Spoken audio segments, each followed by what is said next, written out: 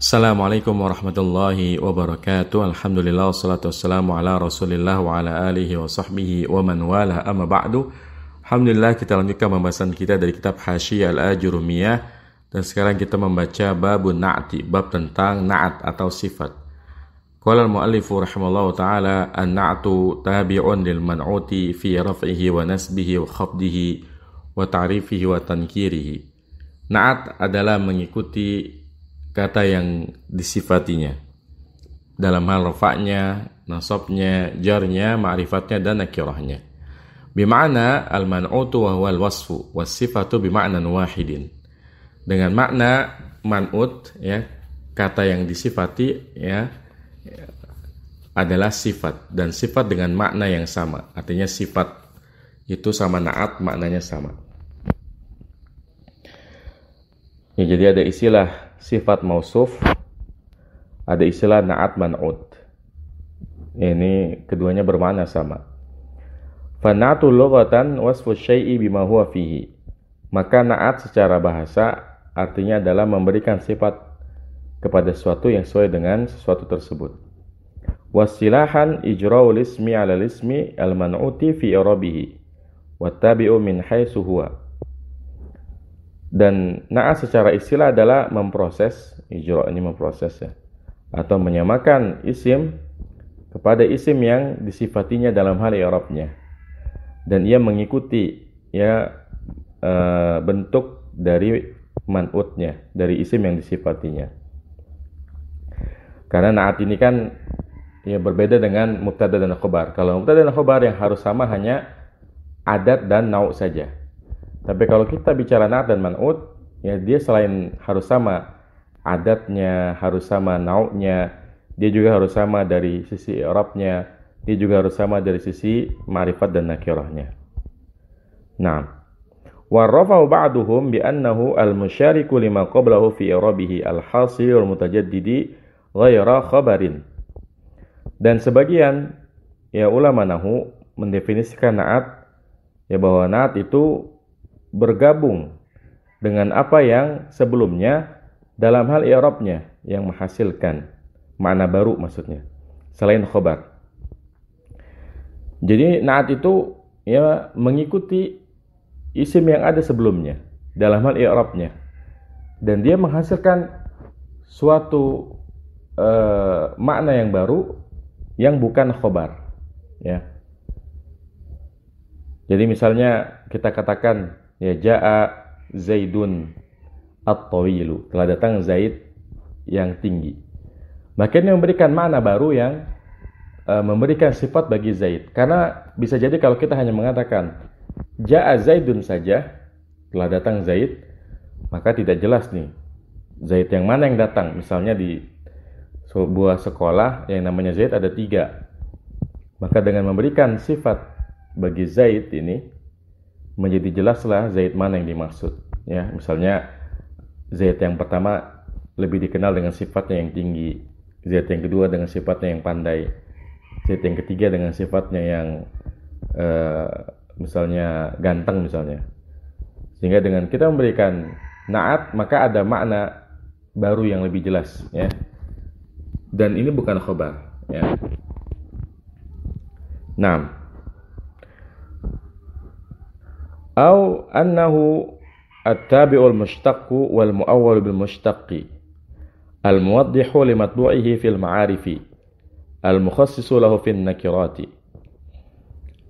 Atau ada yang mendefinisikan naat sebagai kata yang mengikuti. Yang termasuk mushtaq. Jadi naat ini berasal dari kata yang mushtaq atau kata yang ditakwil dari yang mushtaq. Al muwaddihu limatbuhi yang menjelaskan kata yang diikutinya fil ma'arif dalam hal ma'rifatnya.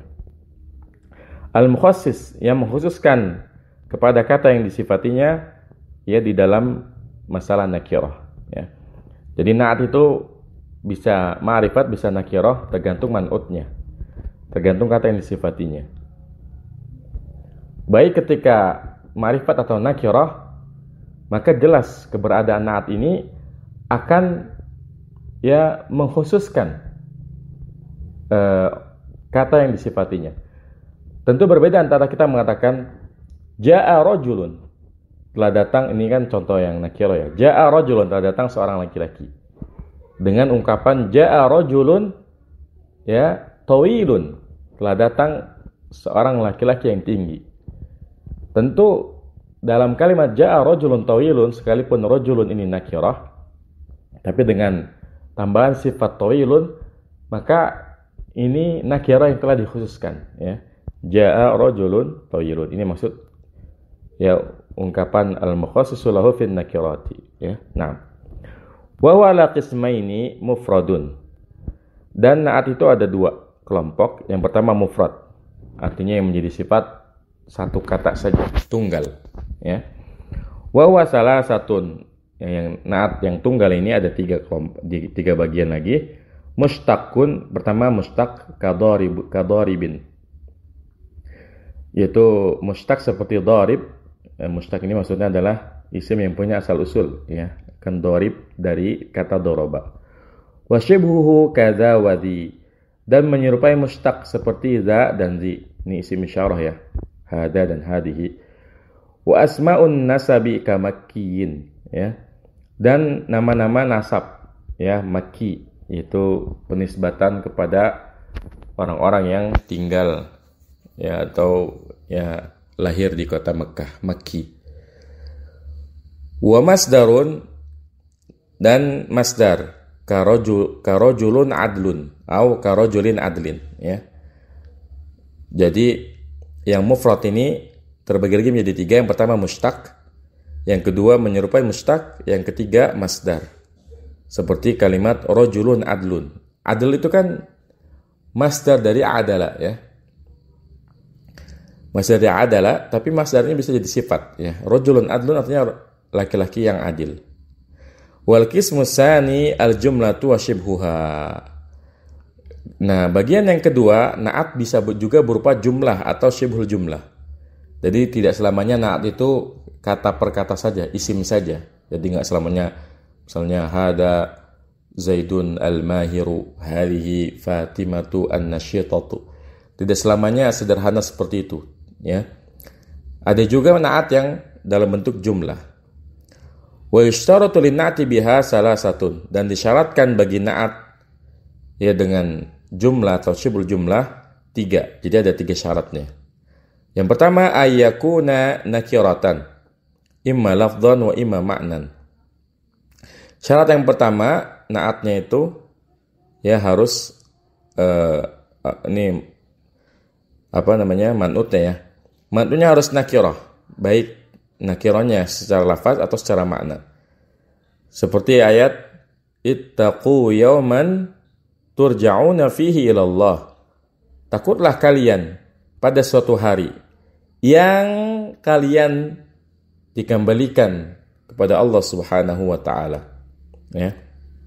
Fataku fi'lu amrin mabniun ala ma yajzamu bihi mudhari'ahu mabniun ala ma yajzimu bihi mudhari'ahu wa yawman maf'ulun wa tujawana fi'lun mudhari' mabniun majhuli walau naibul fa'ili wa fihi jarun majrurun wa ila Allah jarun majrurun. Ya. Aw ma'nan la lafdhan. Atau ya nakiranya nakirahnya itu secara makna bukan secara lafaz. Wahwal ma'arrafu bi'al. Ya. Itu adalah yang dimarifatkan dengan al. Wa syartani fil jumlati dan dua syarat pada jumlah antakuna mustamilatan ala domirin yarbutuha bil mausufi malfudun bihi au muqaddarun wa antakuna khobariyatan. Dua syarat yang lain kan tadi katanya kalau kita ingin memberi uh, sifat dengan jumlah, syarat yang pertama kan dia harus nakiroh. Ya. Syarat yang kedua, ya dia harus mengandung domir yang mengikatnya dengan sifat. Baik domirnya itu dilafazkan ya tampak au muqaddar atau disembunyikan. Wan takuna khobariyatan dan uh, jumlahnya itu memberikan penjelasan khobariyah ya Seperti dalam ayat ini, ittaqu yauman turja'una fihi ilallah. Takutlah kalian kepada hari, hari apa? Hari di mana kalian dikembalikan kepada Allah Subhanahu wa taala. Maka di sini ya ada domir yang kembali. Ya, kan fihi ini haknya kembali kepada yauman ya. Ya. Kemudian di saat yang sama turja'una fi ilallah dia menjelaskan tentang hari tersebut ya. Ini kan kalau kita terjemahkan takutlah kalian kepada hari ya di mana kalian dikembalikan kepada Allah Subhanahu wa taala. Ya, 6. Kemudian ai an-na'tu tabi'un man'uti fi rafihi in kana marfu'an wa nasbihi kana mansuban wa khabdihi in kana mahfudan. Artinya na'at itu mengikuti man'ut dalam hal rafa'nya jika ia marfu dan nasab jika ia mansub dan jar jika ia majrur. Jadi memang kalau naat ini i'rabnya tidak seperti fa'il yang wajib marfu, maf'ul bi yang wajib mansub. Kalau naat i'rabnya mengikuti kata yang diikutinya. Kalau diikuti marfu maka dia marfu. Kalau diikuti mansub maka dia mansub. Kalau diikuti majrur maka dia majrur. Ya, nah. Kemudian wa ta'rifi wa tankirihi. Jadi selain dia harus mengikuti dalam hal i'rabnya, rafa'nya, nasabnya, jarnya, Naat juga harus mengikuti dari sisi ma'rifatnya dan nakirahnya. Ay wa na'tu yatba'ul man'uta fi ta'rifihi in kana al-man'utu ma'rifatan. Wa tankirihi in kana man'utu nakiratan. Artinya na'at itu mengikuti man'ut dalam hal ma'rifatnya jika man'utnya itu ma'rifat. Dan mengikuti ya nakirah jika memang man'utnya itu nakirah. Sawa'un kana na'tu haqiqiyan wa huwa ma ru wa huwa ma rafa'a dhamiran mustatiran au sababan oh afan saun kana natu haqiqiyan wa huwa ma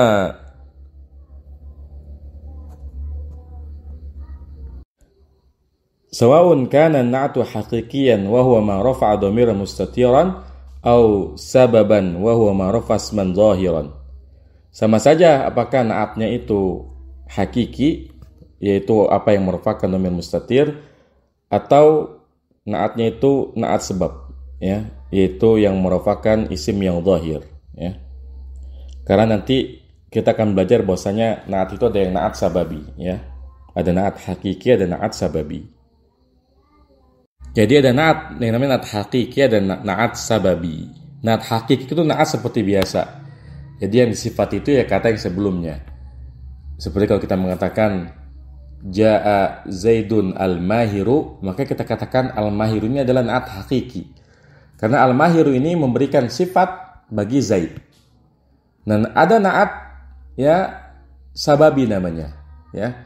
Jadi yang diberi sifat bukan kata sebelumnya, tapi kata setelahnya. Kita ambil contoh dalam Al-Quran ya.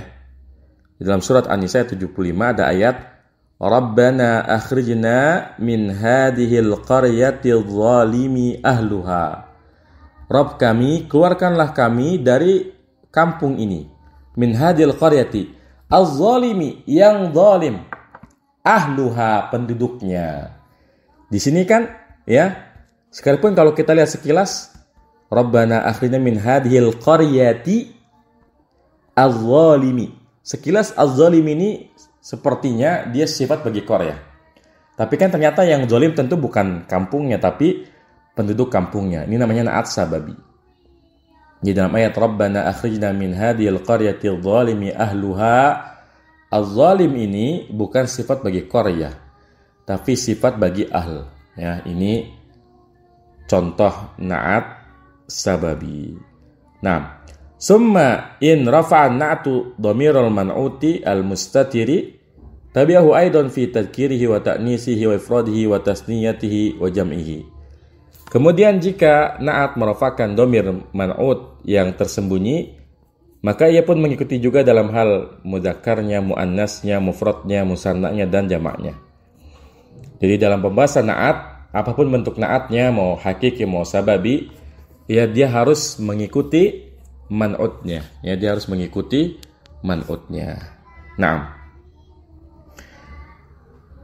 di sini ketika Ibnu Ajur Masan Haji rahimahullah taala menyebutkan naat harus mengikuti naat, beliau menyebutkan rofa, nasab, jar, marifat dan nakirah, ya. Wa yakmulu lahu arba'atun min asyarah wa hiya rafu wa nasbu wal jarru wal wa tasniyatu wal jam'u wa tadhkiru wa ta'nisu wa ta'rifu wa tankiru. Ya. Dan sempurna empat dari sepuluh, yaitu rafa, nasab, jar, mufrad, musanna, jama, mudzakkar, muannas, marifat, nakirah. Jadi kalau kita membahas naat, maka ada sepuluh hal yang harus sama. Ya. Ada sepuluh hal yang harus sama ya. Itu yang pertama sama rafaknya sama nasabnya sama jar sama mufrad sama musannanya sama jamaknya sama muzakkar sama muannasnya sama marifatnya dan sama nakirahnya. Jadi perhatikan ini kalau kita membahas pembahasan naat maka ada 10 hal yang harus disamakan antara naat dengan man'ud ya.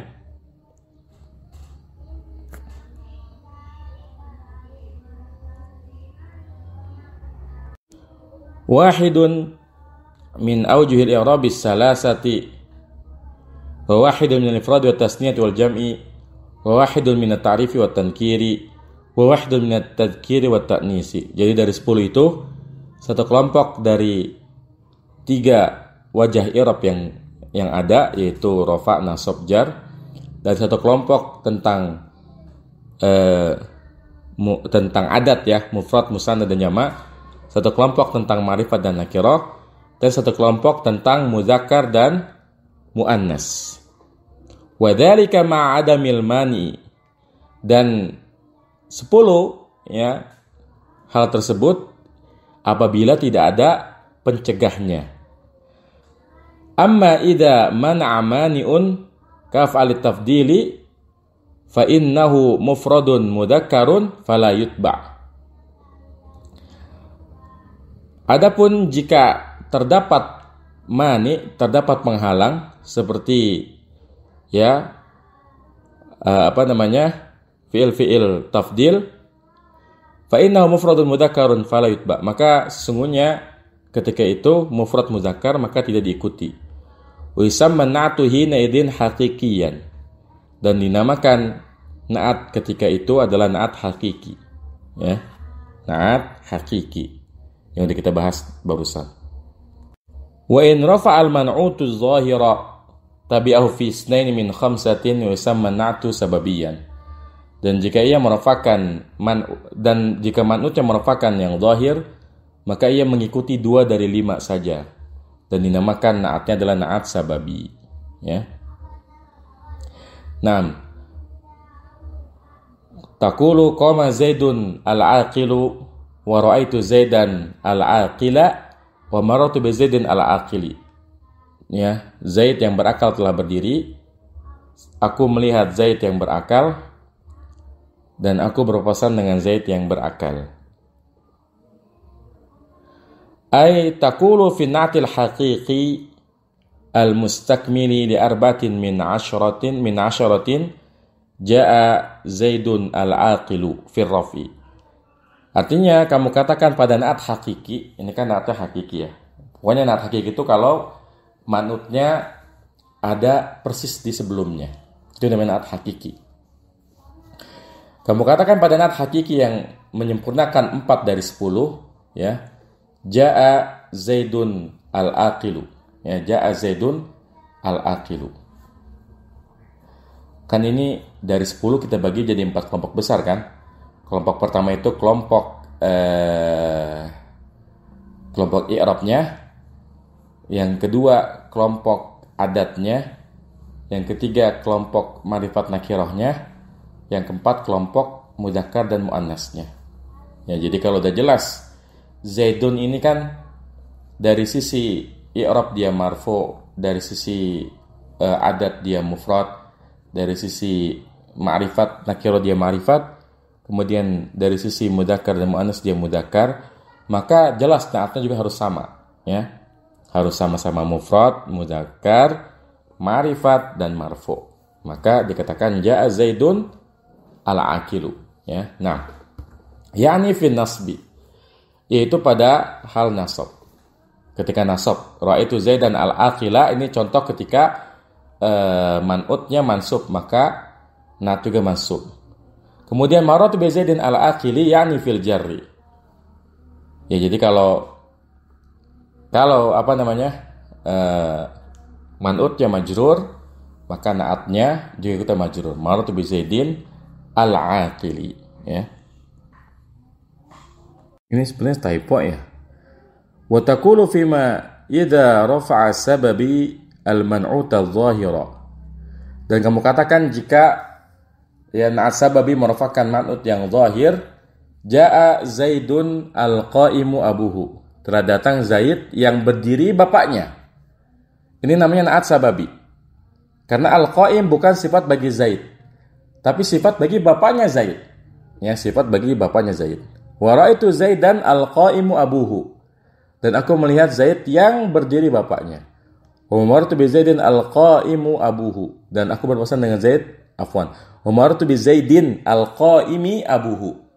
Ya, jadi di sini kalau al-qa'imnya seakan-akan mengikuti kata sebelumnya. Ya. Ja'a Zaidun al-qa'imu. Ra'aitu Zaidan al-qa'ima. Maratu bi Zaidin al-qa'imi. Ya. Tapi sebetulnya dia mengikuti kata yang setelahnya. Jadi dari sisi Arab dia mengikuti uh, kata yang sebelumnya, tapi dari sisi makna dia mensifati kata yang ada setelahnya. Karena kalimat ja'a Zaidun al-qaimu abuhu ini al-qaim sifat bagi abuhu.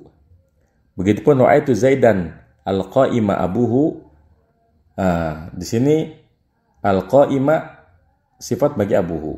Begitupun marut bi Zaidin al-qaimi abuhu. Al-qaimi ini sifat bagi uh, apa namanya? abuhu. Nah, nanti di sini al-qaim dalam contoh ja'a Zaidun al-qaimu Raitu Zaidan al-qaima Maratu bi Zaidin al-qaimi kita katakan semuanya ini naat li Zaidin. Nah, nanti abuhunya sebagai fa'ilnya. Jadi Abu sebagai fa'il. Mana fi'ilnya? Fi'ilnya adalah al-qaim, yaitu isim fa'il yang beramal seperti amalan fi'il, ya. Tapi barangkali kita cukup untuk sampai sini. Insya Allah selanjutnya kita bisa dalam audio yang lain. Semoga bermanfaat. Wassalamualaikum warahmatullahi wabarakatuh. Subhanakallahumma bihamdika. Asyadu an la ilaha illa anta astaghfiruka wa atubu ilaik. Assalamualaikum warahmatullahi wabarakatuh.